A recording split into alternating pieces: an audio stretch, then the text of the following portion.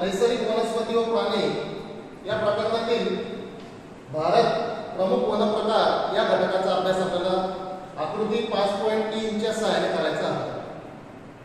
विद्यार्थी मित्रांनो आपल्या भारत देशाचा अक्षरवृत्तीय विस्तार तसेच रेखावृत्तीय विस्तार हा फार जास्त असल्यामुळे आपल्या भारताला मोठ्या प्रमाणावर क्षेत्रफळ लाभलेले आहे.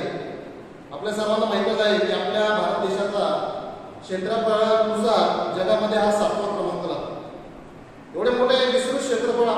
आपल्याला असल्यामुळे आपल्या भारतातील वनांमध्ये सुद्धा वेगवेगळे प्रकारचे वन आपल्याला हे बघायला मिळत असतात. आता पहिला प्रकार आहे सदाहरित वने आपण आकृतीमध्ये बघू शकतो या नकाशामध्ये की आपल्या भारतातील सदाहरित वन जे आहे त्यांच्यासाठी सूचीमध्ये गर्द हिरव्या रंगाची रंगछटा आपल्याला दिलेली आहे. यामध्ये हिमालय पर्वत रांगेतील दक्षिणेकडील भाग सह्याद्री पर्वत रांगेतील भाग व पूर्व भारतातील काही भागाचा समावेश हा सदाहरित वनांमध्ये केलेला केला जातो. आता यामध्ये बघा सदाहरित वने आपल्या सर्वांना माहिती आहे की या ठिकाणी पावसाचे प्रमाण फार जास्त असते. त्यामुळे या भागातील वनस्पती ज्या आहेत त्या बाराही महिने हिरवेगार असतात. त्याच्यामुळे यांना सदाहरित वन असं म्हटले जाते यानंतर पुढचा प्रकार आहे पानझडी वने आता पानझडी वने म्हणजे काय तर पानझडी वनांमध्ये आपल्याला माहिती आहे की या ठिकाणी पावसाचे प्रमाण हे मध्यम स्वरूपाचे असल्यामुळे ठराविक काळामध्ये या वनस्पतींची पाणी गळून पडत असतात आता आपल्या भारतीय द्विकल्पीय पठाराचा जो प्रदेश आहे व उत्तरेकडील मैदानी प्रदेशाचा काही भाग या ठिकाणी आपल्याला पानझडी वन ही प्रामुख्याने बघायला मिळतात पुढचा प्रकार आहे काटेरी झुडपी वने.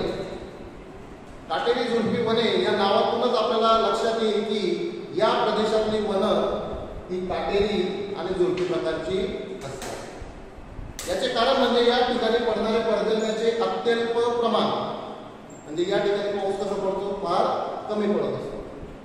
आता आपल्या भारतातला गुजरात राजस्थान द्विकल्पीय पठारातील पर्जन्य छायेचा प्रदेश या ठिकाणी ही आपल्याला काटेरी झुडपी वने ती बघायला मिळतात.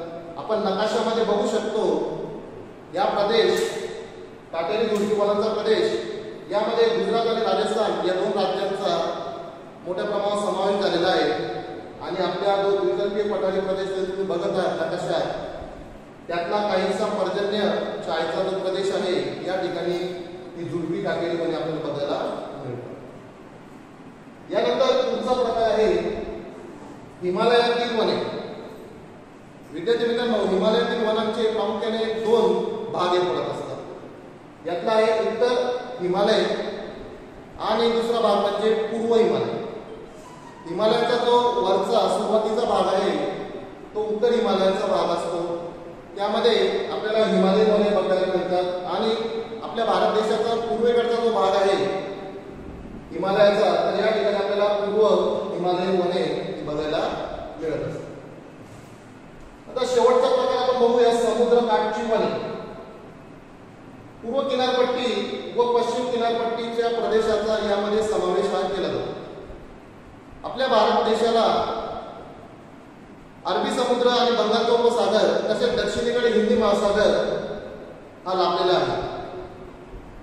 आता यातला पूर्व किनारपट्टीचा प्रदेश म्हणजे बंगालच्या उपसागराला लागून असलेला जो भाग आहे त्या ठिकाणी आढळणारी समुद्रकाठची वने आढळतात. त्यांचा समावेश पूर्व किनारपट्टी वनांमध्ये केला जातो. आणि पश्चिम किनारपट्टीचा प्रदेश म्हणजे अरबी समुद्राला लागून असलेल्या भागातल्या वनांचा समावेश हा पश्चिम किनारपट्टीय प्रदेशातल्या सागरी समुद्रकाठच्या वनांमध्ये केला जातो.